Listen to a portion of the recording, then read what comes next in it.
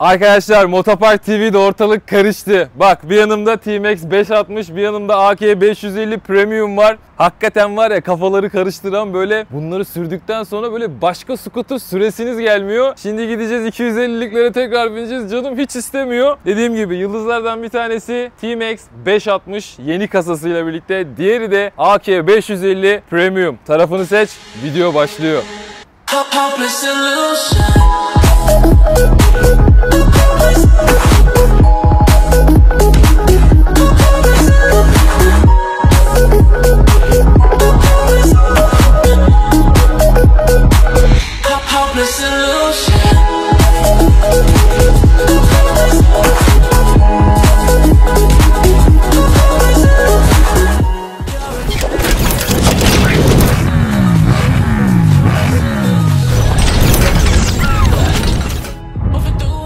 Hadi kıyaslamaya başlayalım arkadaşlar. Çok uzatmak istemiyorum çünkü çok ince ince ince ince değinirsem bu videoyu bitiremeyiz. O yüzden onda bu var, bunda bu var, şunda bu var, bunda bu var olarak devam etmek istiyorum. İkisi de spor bir scooter. Biri Yamaha'nın, biri ise Kimco'nun motosikletleri. Bunları söylememe gerek yok biliyorsunuz. Bir tanesi 560 cc adından da anlaşıldığı gibi bir tanesi ise 550 cc olarak geçiyor arkadaşlar.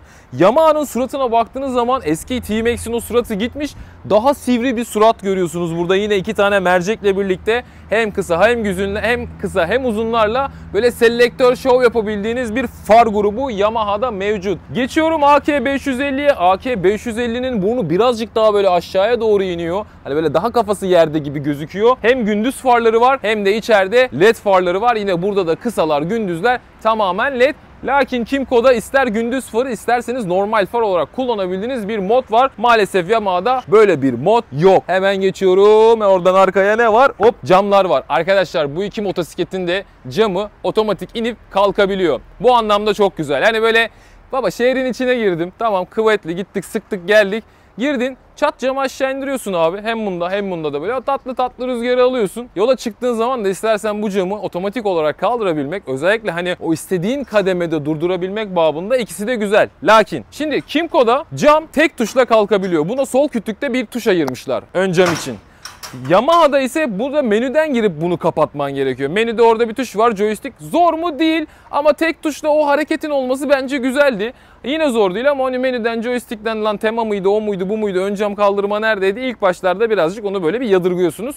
Ama var mı? Var. Geçiyorum ekranlara işte burada birazcık Yamaha dananın kuyruğunu kopartıyor. Çünkü Yamaha'ya bastığı zaman kocaman bir tablet var önünde. Yani böyle bayağı büyük. İçinde her şey var. Anlık yakıtınız, bilmem neyiniz bunları saymıyorum. Geçin. Tema değişikliğine gidebiliyorsun. Telefonunu bağlayabiliyorsun. Orada işte navigasyonunu tam ekran yansıtabiliyorsun kocaman. İşte aramalarını görebiliyorsun.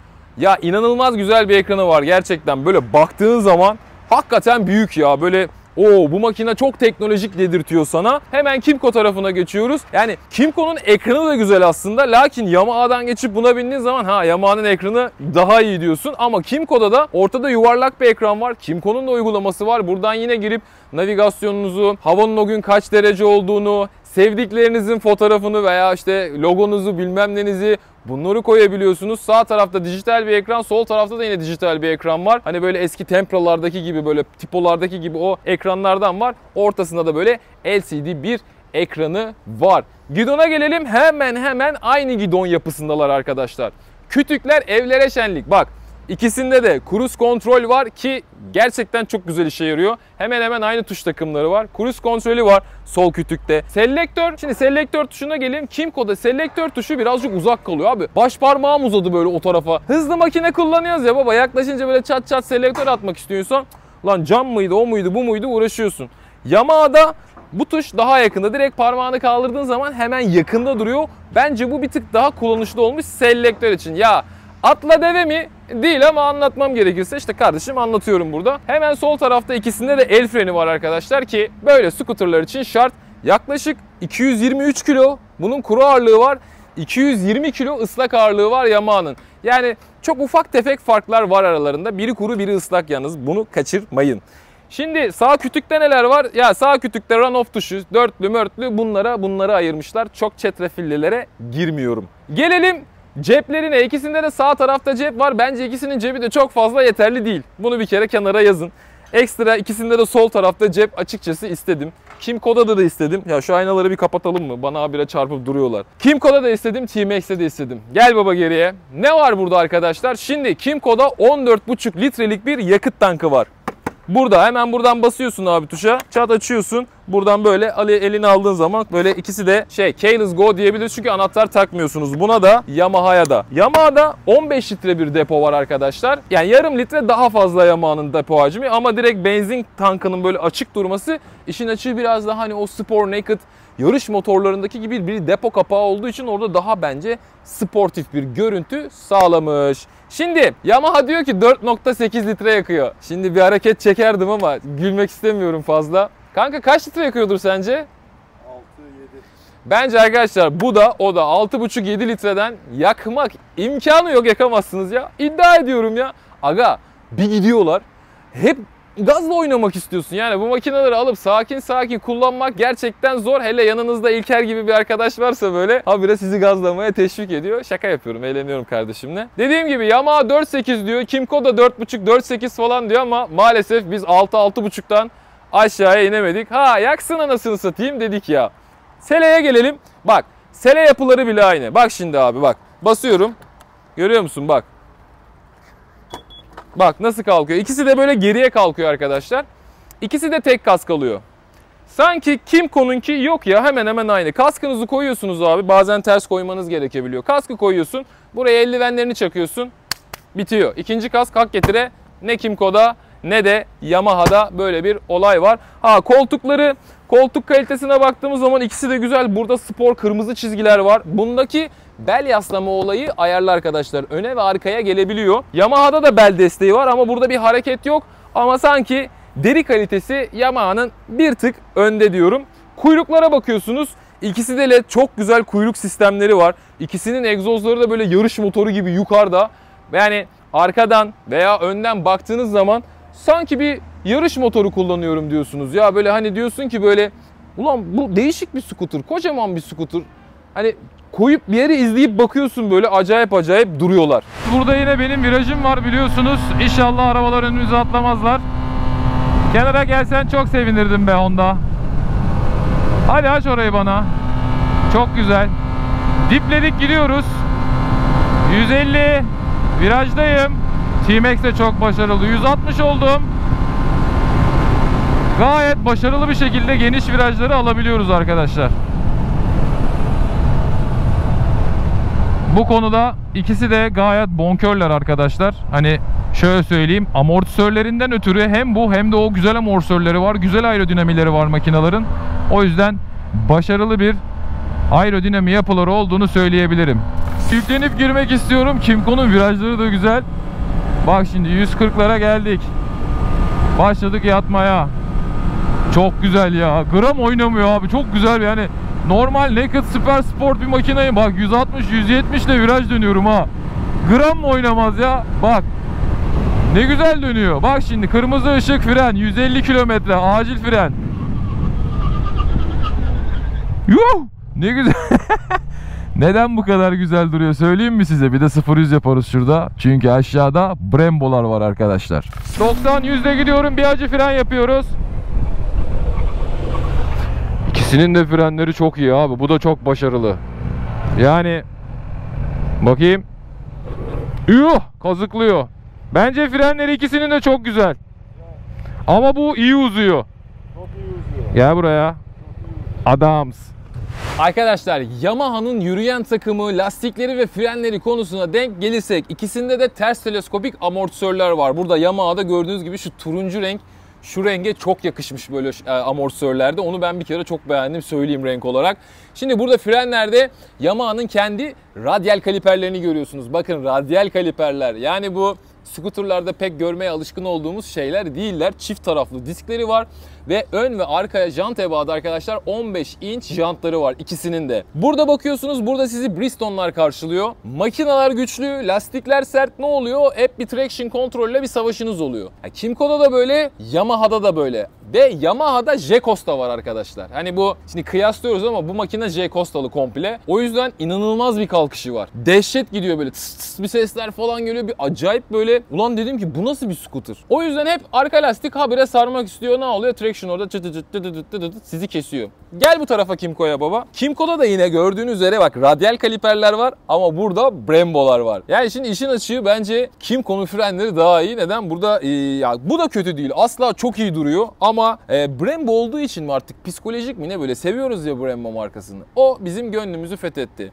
Kimco da aynı. Ön ve arka jantta 15 inç lastik ebadı kullanıyor arkadaşlar. Burada lastikler Dunlop geliyor. Ne tesadüf bu da sert. Ya kardeşim böyle motor yapıyorsunuz. Bir, bir tık yumuşak lastik takın ya. Biraz eğlenelim ya. Abi Traction Control devreye girmek istiyor mu? İstiyor. Özellikle asfaltın ayna gibi olduğu bölgelerde Traction'la bayağı dostluk yapacaksınız. Arka tarafta yine arkadaşlar. ikisinde bu tarafta çift disk var. El freni için ayrı. Kimco'da tek diskte, e, tek kaliperde hem el frenini hem de normal frenini bulundurmuş. Arka taraflarda yine amortisörler sol koldan geliyor. Spor bir motosiklet edasını veya yol tutuşunu o salıncak gibi olmamasını sağlıyor size. Yani ikisinin de yol tutuşu, virajları, girişleri, çıkışları gerçekten güzel. Yani standart bir scooter sürmediğinizin, yani kafanızın başka motorlara kaçtığını söyleyebilirim sürerken.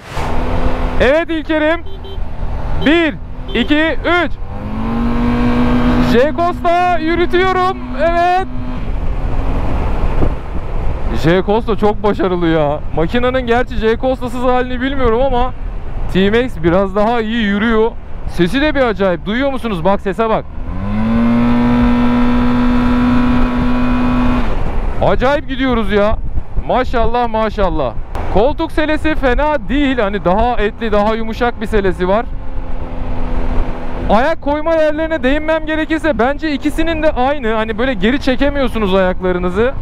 Ama böyle ileriye doğru itmek gayet rahat. Hatta şu camı tekrar bir aşağı indirelim. Şöyle bir dakika sağa yaptım. Buradan işte bu biraz tek tuşta olsa güzel olurmuş. Bak indirdim. Kaskın camına patlayan rüzgarı duyuyor musunuz? Bak kaldırınca ne kadar güzel kesiyor. 90 kilometre ateşliyorum. Yuhu! 120, 130, 140, 150. Birazcık kesildi motor. Buyurun İlker Bey. Biraz sesli çalışıyor ama T-Max. Bu J-Costa'dan mıdır bilmiyorum lakin kesinlikle iyi gittiğini söyleyebilirim. Şimdi biraz böyle yol dengesine bakacağım motorların. Şöyle şöyle. Yani gidona verdiğiniz hareketlere çok güzel karşılık verebiliyor T-Max. Bak hop hop hop hop. Biraz totomla bile yardımcı olabiliyorum motoru sürmeye. T-Max'le aralarda gidelim bakalım.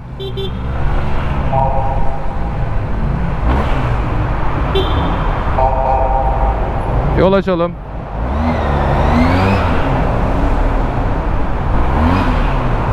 Uf turbo var sanki ya. Aç babacım yolu. Aç. Gaz koluyla kafa yiyeceğim şimdi. Arkadaşlar böyle sıkışık trafikte böyle kayabiliyorsunuz. Şu an araçların arası geniş. Lakin bunun da aynaları geniş olduğu için Aynı şeyde yaşadığım T-Max'te yani AK550'de yaşadığınızı T-Max'te yaşatıyor. Trafikte AK550 ile bakalım. Biraz genişçe böyle akan trafikte problem yok ama çok şehir içi dur trafiğinde birazcık şey yapabiliyorsunuz arkadaşlar. Aynalara hop dikkat etmeniz gerekebiliyor. Onun dışında hani böyle bir scooter rahat debriyaj yok bir şey yok ayaklarınız önde gidebiliyorsunuz. Trafikte araçların arasından geçerken yine geçiyor musunuz? Evet böyle geçebiliyorsunuz. Lakin Dediğim gibi aynalar biraz araçların tam aynalarına denk gelebiliyor bazen hafif böyle motoru sağa sola yatırdığınızda geçmek için. Bir onlara dikkat etmeniz gerekiyor. Ön taraftan su geldi. Ağzımın içine girdi adamın silecek suyu. Çok güzel.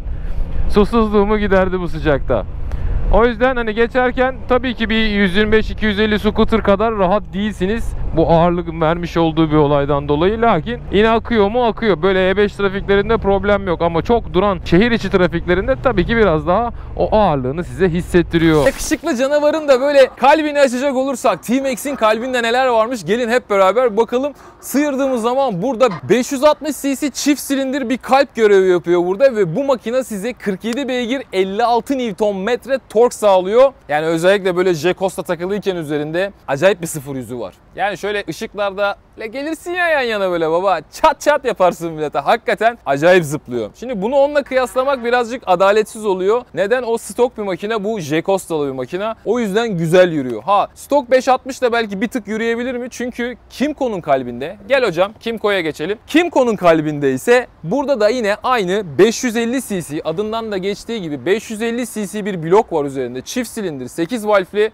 Bu makinede arkadaşlar 51 beygir 52 Nm tork üretiyor. Yani neydi? Yamaha 47 beygirdi bu 51 beygir. Yamaha 56 Nm torktu bu 52 Nm tork. Yani aslında kağıt üzerinde baktığınız zaman değerler gerçekten birbirlerine çok yakınlar. O yüzden böyle hani şöyle söyleyeyim. J-Costa olduğu için biraz yürüyor ama bir gün stok bulursam onunla da bunu deneyeceğim. Lütfen kıyaslamaları izlerken J-Costa farkını aklınızın bir kenarına yazın. Bilirsiniz haksızlık yapmayı pek sevmiyorum. Yani iki blokta çok canlı. İki blokta bastım mı güzel yakıyor bastın mı güzel duruyor. Bu ne için biliyor musunuz? Yani ya ben şehir içinde scooter'a biniyorum.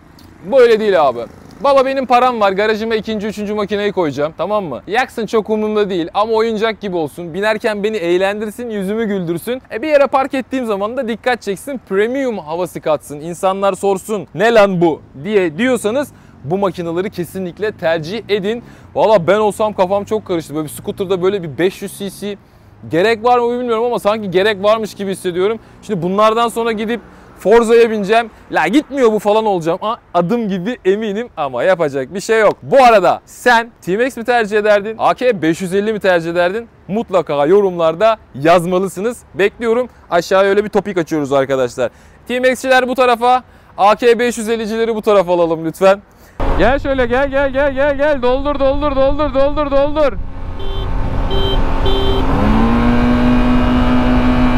Bu biraz J Costa farkı gibi geldi bana. Ona da J Costa taksak ne kadar değişirdi işler bilmiyorum. Bir 0-100 yapıyorum. Traction girdi devreye. Kopartmasaydı fena uzuyor. Of. Of.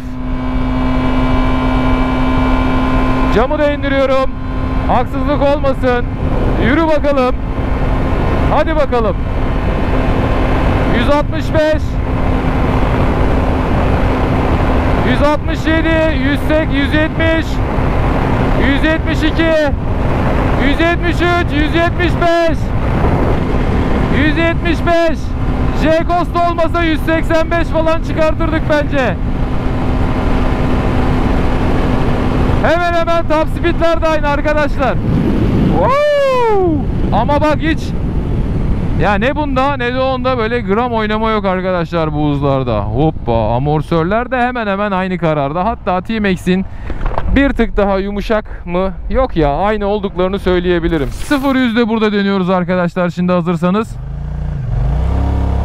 Yürü bakayım Kimko. Göster hünerlerini. Sanki daha hızlı oldu göz. Kapandık gidiyoruz bakalım neler olacak şimdi. Bir top speed denemesi yapıyoruz. Koşturuyoruz Kimco'yu. Yürü!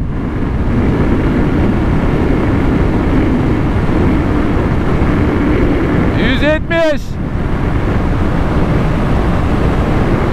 180'e geliyorum. 180. 182.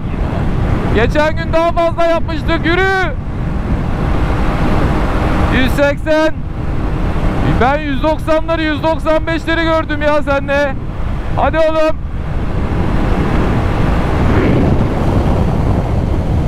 Bugün 185 yapabildim ama arkadaşlar ben bu motorla 195'i gördüm. 130.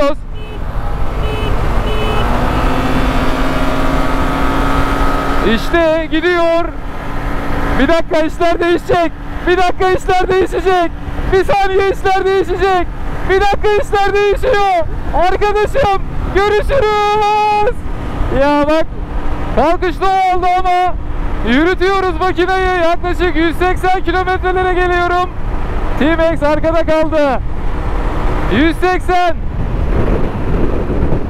Hop dikkat et yerde bir şey var. Vaa, intikamımı aldım. Aferin Ake. Arkadaşlar J-Cost'ta böyle bir olay. Demek ki hemen hemen iki makinede kafa kafaya gidiyor. Çünkü o kalkışta çok hızlı. Ama Kimco gördünüz 150'den sonra Kimco oturuyor. Şimdi bir de şunun farkına varalım.